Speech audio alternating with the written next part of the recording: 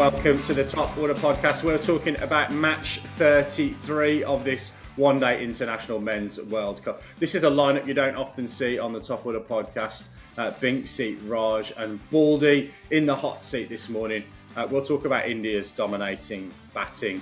Uh, we'll talk about the man of the match award and we'll talk some stats as well. All coming up on the Top Order podcast. Stay tuned. Well, boys, match day 33. So, um, yeah, no real spoilers here, but India sitting pretty now at the top of the table, seven wins uh, from seven, pretty healthy net run rate. And um, you've got to say that this looks like a, yeah, almost game over for Sri Lanka in terms of their potential qualification uh, for the semi finals. We'll start, I guess, at the start, shall we, with uh, with India's um, India's batting. Um, another one of these games in a pretty, yeah, pretty decent heat, I think, at the Wankhede, and um, Sri Lanka sticking India into bat, and then uh, yeah, chasing a little bit of leather, Raj, which you must have enjoyed watching. Shubman Gill, Virat Kohli, Shreyas Iyer, all in nick for India. Yep, uh, those two in particular looked looked really good. Uh, I guess if we if we start right at the top, uh, that Madushanka ball to, to Rohit Sharma, second Ooh. ball of the game it was an absolute peach, uh, but that's about where it starts and ends uh, from me for the praise for for Sri Lanka. Madushanka, to be fair, he actually bowled bowled well while being a tad expensive, but uh, in, in in context, relation to the other part of the bowl parts of the bowling unit, he was he was actually very very good. His maiden five for, um, yeah, Kill uh, Gill Kohli, uh, they they batted really well. Sri Lanka did have their chances early on. Both of those mm-hmm. men dropped uh, for under 20. Uh, it was actually the pitch. You know, this is going to sound funny because India scored 357, but I watched most of that innings. It was actually not that great for batting on. It was very two paced, and unless you were hitting the ball dead straight, uh, there was a lot of ball hitting, ball hitting bat on the up, a lot of closed bat faces with leading edges. Um, and like I said, yeah, Sri Lanka had their chances, but just did not take them. And those are chances that need to be taken. What do you reckon, Baldy?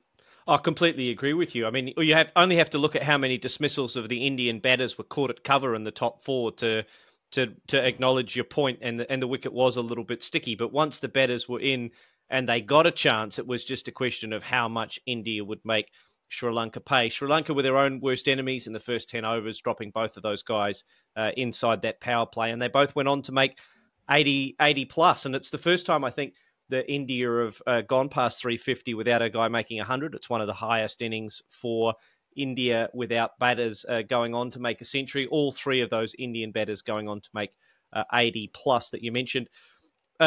Madushanka, look, continues to impress me in this World Cup. He has emerged as a potential superstar for Sri Lanka. I don't want to make comparisons to Chaminda Vaas, but those are the comparisons that are being made already. And you had a look at all of the skill that was on offer from him last night. We know he can swing the ball early doors, but that off cutter to dismiss Rohit was, as you say, Raj, an absolute peach. So he showed us an extra set of skills last night, uh, turned the ball in his fingers both ways and picked up his maiden five for and look good on him. He has been a shining light in an otherwise, I think, for Sri Lanka, pretty disappointing World Cup. And we'll get on to the binary betting in a little bit, and that and that was a highlight for them previously, uh, has now turned into a low light. But yeah, Madushanka's five for. If you get Rohit, Gill, Kohli, Shreyas Iyer, and Sky in your maiden five for, that's a that's a pretty good bag to talk to the grandkids about. It was, and just just sort of building on your point there around Iyer and a point you made there around sort of getting in. His innings was actually very, very good. He came in on a difficult pitch to acclimatise to, and he, he actually settled in really quickly. And that half century came off 36 balls, uh, and you know it's all about driving towards that that 350. Where obviously you know we called it being a 350 World Cup uh, early on in the preview. Uh, complete lie. I think Stu was the only one who believed that. But um, 350, I think, is what you're aiming for, and that that's what what what Iyer did and pushed India towards that on actually a very difficult pitch. Um, whilst we're talking a little bit about Madushanka, I've got to point this out, guys, and I really want to get your your thoughts. So, Cricinfo obviously run their little MVP um, program on the website. So, in a game where India win by 302 runs Cricinfo have named Madushanka as their MVP. Now, Baldy, please tell me this is you know some kind of glitch in the algorithm matrix because I, I just don't see how the MVP um, under any criteria can be mm. uh, yeah from a team that's that's lost by 300 runs, even if he does take five for, um, and particularly when he takes five for and with all due respect goes at eight and over. Thoughts? Yeah, difficult one to rebut there. You've you've really won this debate early doors with your opening salvo. Uh, the only thing I can think of is he was that much better than all of his teammates. He was far more valuable to Sri Lanka than the you know relatively even contribution from all their batters. But at the end of the day, uh, I think you'll find that 18 is better than 80 as far as runs conceded is concerned. So if anyone in a bowling sense is going to be winning MVP, I think it should be perhaps Mohammad Shami. Um, well, so I can't disagree I, with you there, mate. I have a bit of an answer for you actually. So I, I did look into this. There is a, oh. a pre, there's a pressure index, which is the underlying part of this algorithm. And I'm feeling that at the moment. That, that takes into account the, the, the quality of the bowlers, quality of the batters uh, that are currently batting, and, and Baldy named the, the players that he, yeah. he, he, dismissed, uh, and in the positions which, which he dismissed them. So that has been factored in as uh, difficult. Uh, it's hard for Shami, I think, to to, to replicate that, uh, you know, when he came into his, his bowling innings. Well, well, given that the guys that Shami dismissed only made ones and zeros, I reckon he may have recoded the algorithm on the fly there uh, to to run himself out of MVP contention because it was look a spectacular spell, yet another spectacular spell from Mohammad Shami. Can we just cover him off quickly? I think it's 14 wickets now in this World Cup. I think he's only played three or four games. He came in, of course, after the Pandya injury. And now he has 14 wickets at 6.7 at a strike rate of nine. Like that's some under 13 B stuff when you've got like an under 15 playing down type of situation. Muhammad Shami, uh, now that he's come in for this Indian side, I know it is a balance question for India. They get so much more out of having Pandya at six and that extra bowler, but the fact that now they can have Muhammad Shami in the team, I mean, he's just been awesome for them. Let's just roll off a couple of stats and records. Uh, now, the most World Cup wickets for an Indian. Uh, he's got 45, goes past 44 for Javagal Srinath and Zaheer Khan. Uh, he has the most full wicket hauls uh, in ODI World Cups of any bowler. Uh, he joins Mitchell Stark as the only bowlers with three fivers at ODI World Cups. Uh, he's just been superb. Um, yeah, and as I said, a strike rate of 9.4, that's not a misprint, an average of 6.7, and an economy of 4.2. So he's just been he's just been awesome uh, in this World Cup, Mohammad Shami, and proving that you know you don't need to bowl at express pace to be successful in India, providing you put the ball in the right areas, you stand the seam up, and you do a little bit with it early doors. Yeah, I, I couldn't agree more, Borden. I, I just, uh, yeah, watching him against England the other night as well. I just, I don't think there's anyone better at finding any little advantage in terms of conditions than Mohammad Shami, and, and I'm, I'm, talking about all, you know, all cricket, all all bowlers in in the in the world game currently. If there is a little bit of nip there, he will absolutely, um, absolutely find it. The, the, the, way he presents the seam is just. Um, yeah, I, you know, I, I, whisper this very, very quietly. It's as good as uh, Jimmy Anderson um, in terms of yeah, in terms of his, his wrist and seam position, which yeah is the highest plaudit I can I can pay any seamer. Yeah, and and I tell you what, Bumrah's not far behind him. That delivery early doors yeah. to get um, the inform uh, Nathan Pasanka or Pathum Nissanka, I should say, in first cherry and gone, just set the tone for India. And, and Sri Lanka were just, you know, they were never in the races really in this game, were they? Can, can we clip uh, Binksy talking about Shami and, and James Anderson uh, together in, in that sentence, that context? It was great. Clip it, yep. put it on YouTube as a short, please. Um, yep. So I'm going to take a slightly different line. Shami got the got the headlines. Bumrah is, is, is Jasprit Bumrah, but I actually think that uh, Siraj was was actually the most devastating bowler for me uh, on this wicket. His his wickets of Karunaratne, Mendis, and, and Samarawickrama in his first seven balls was actually absolutely outstanding. He bowled incredible areas. Uh, him especially got the new ball to swing. He got it to really talk. Uh, Shami and Bumrah more more off the pitch, but there was a little bit in the air, but more off the pitch. Mm. Uh, Shami is a is a point of difference. He gets the ball to swing in the air, and it, was, it was actually just a completely different vibe from from that first innings. Uh, the swing, the seam, uh, impeccable areas. We talked about Madushanka, even that first ball to, to Rohit Sharma. That wicket was actually from lack of swing because he kept kept it going straight and then cutting away slightly. Um, I actually, yeah, massive plaudits for me for from me for uh, Siraj there. I think he bowled really well, and it's going to cause some real headaches, but good headaches to have for the yeah, uh, team. And, and, huge headaches for the semi-final and final opponents. India now locked into a semi-final spot officially now mathematically, and the only real weakness so far in India's lineup, it seemed, is that Siraj was slightly below uh, the level that that Bumrah and Shami were performing at. But now, Raj, as you say, he's been outstanding as well in this fixture. And Sri Lanka have unfortunately played India into yet more form uh, for them at the right end of the tournament. Yeah, absolutely, Bordy. And uh, look, I guess we, have asked this question a hell of a lot. We go into, um, yeah, I guess we go into you know a, busy weekend of cricket. So we've got that yeah double header on the on the Saturday. Um, but India, I was talking to a couple of guys at cricket practice about this last night, and um, we got a, a, few Sri Lankan lads at our club, as you know, Baldy. They were pretty optimistic going into last night's um, game, and, and, a couple of the, the, the the Indian lads were talking about how they think they thought India would win, but they think they're gonna they're gonna crash out in the in the semis. Um, I, I, guess that sort of you know probably perennial tag that you know they're not you know they're not great in knockout cricket. Um, but I, yeah, I, I, just can't see a permutation where they don't win this tournament at the moment. The way that they're they're playing with both bat, um, bat and ball.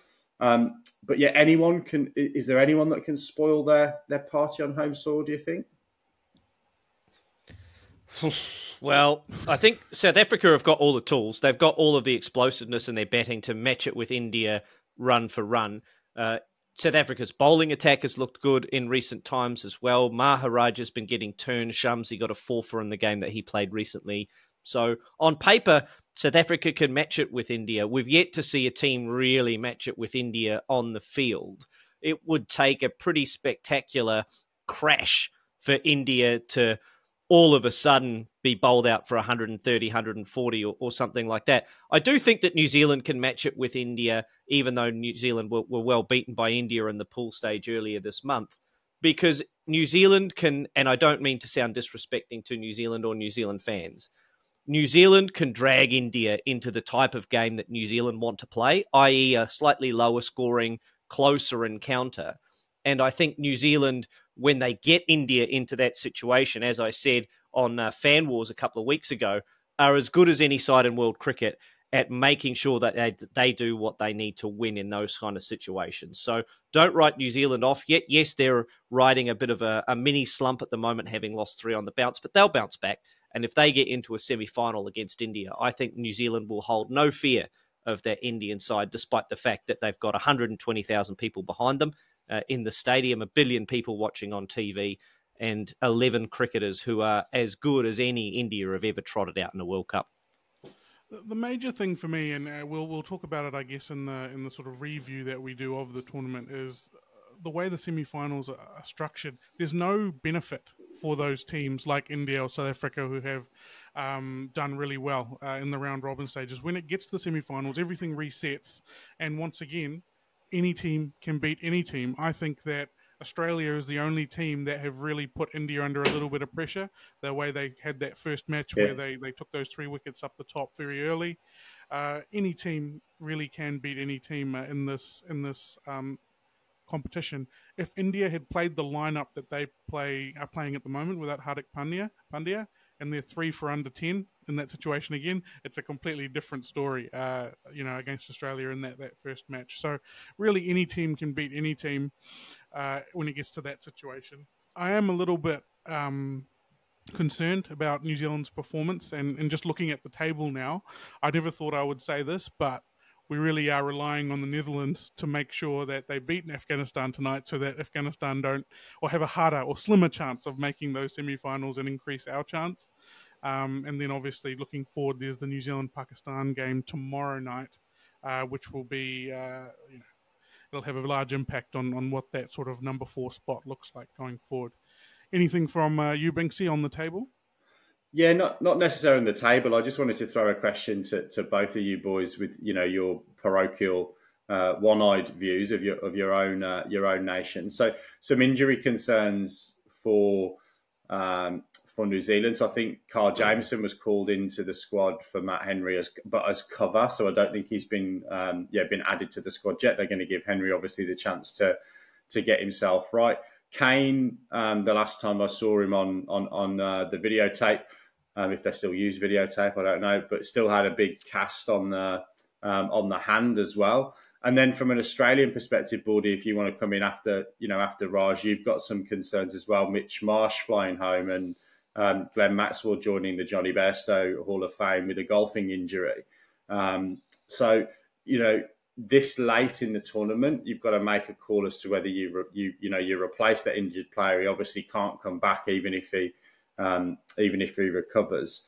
How much of an impact is that for, for, for you boys going into a busy weekend of cricket and, and, and obviously still some permutations as, as to whether or not you definitely make those those semis? Yeah, look, it's always a danger. Uh, you know, when you actually carry some injuries into the tournament, we carried Kane Williamson and Tim Southee into the tournament.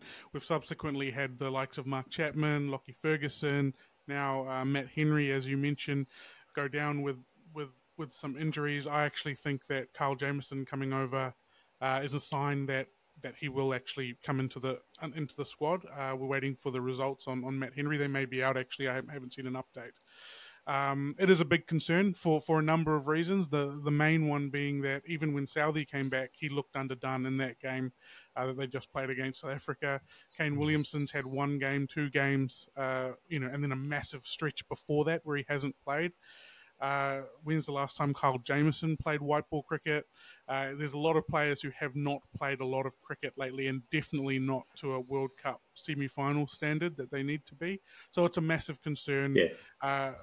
It's almost like we can't have the balance conversation either because it's almost like which players are actually fully fit and available. Uh, Ish Sodhi, uh, I'm hoping that he comes into the side and he, I'm sure that he has been preparing and being ready to make an impact on these Indian pitches, and I think he's going to be sorely needed uh, as the tournament sort of closes out. Uh, but yeah, massive concerns from me. Uh, I can't even have that balance conversation anymore because I don't know which which players are actually available. Uh, it comes down to we've just got to do the job with the bat and we've got to tidy up our fielding. It was better against South Africa, but it was a really uh, sore point for me against against yeah. Australia. Over to you, Baldy. Similar concerns about balance, Raj, for Australia. Maxwell gives us so much with bat and ball. Yes, he might helicopter one up in the air first cherry, but he can also get 100 off 40 balls. So batting at six or seven, that's uh, a really unique offering that Maxwell can give us. And uh, as was pointed out in the Murdoch press this morning, if you can't deal with the no show, then you can't deal with the big show. Unfortunately, he does join Josh Inglis and Jonny Bairstow, as you said, Adam, in the list of golfers in the last 18 months to suffer cricket injuries. I mean, cricketers to suffer golfing injuries, which is really unfortunate for him. He'll be back after eight or 10 days as he goes through that concussion protocol. He'll miss the England game. As you said, uh, Adam Mitchell Marsh also has flown home to Perth for family reasons and will miss the England game as well. He said to his teammates, and Marcus Stoinis has reported it through the media, that he'll be back for this World Cup. So that's good news for both the Marsh family and for cricket in Australia as well. But it means that Marnus Labuschagne probably earns yet another concussion reprieve. He was probably the first in line to be replaced by the return of Marcus Stoinis from a niggling calf injury and he probably would have been the man to miss out had Mitchell Marsh batted at three or four for Australia. So, uh, without being flippant, and, it, and, it's not nice to have concussion, and it's never nice to joke about head injury, but if someone can tell Marnus that he's coming in for Glenn Maxwell because Glenn Maxwell has concussion, it may see yet another.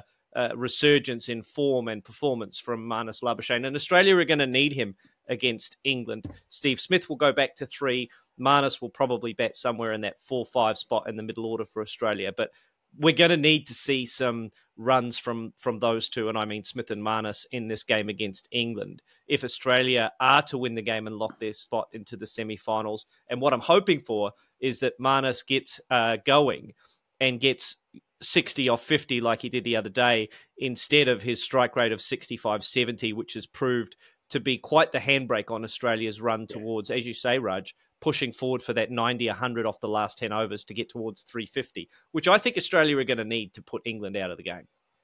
Yeah. Well, look, I guess from an English perspective, I'm just hoping we can play spoiler to that Australian um, campaign. Um, boys, I think we've yeah we've talked um, enough about the game today and probably what's coming up over the next uh, few days. Breaking news is that Cricket Australia um, have now banned golf carts and have actually employed caddies for the rest of the tour. So players need to walk the course uh, to save their legs, but they'll have someone to carry them, uh, carry the ping irons around. Um, but boys, unless there's anything else from from you, um, we will uh, bid farewell to the pod. Please do dip back into the back catalogue um, if you do want to listen to some World Cup chat. Uh, Mike Hesson is a, a must listen um, on our audio channels. We've also got a video um, of our Zoom call with him up there, as well as many more cricketing uh, news, views, and interviews from the archives for you to dip into in between uh, in between games in this World Cup that are coming thick and fast. Um, but for now, it is good morning, good bless from us all here in Auckland, and we'll see you um, on our weekend editions where you'll see the facial hair um, take slightly less care um, and probably some bleary eyes on the on the Sunday morning after that. Uh, uh, that double header. Um, but for now, we'll see you on the Top Order podcast next time. See you later.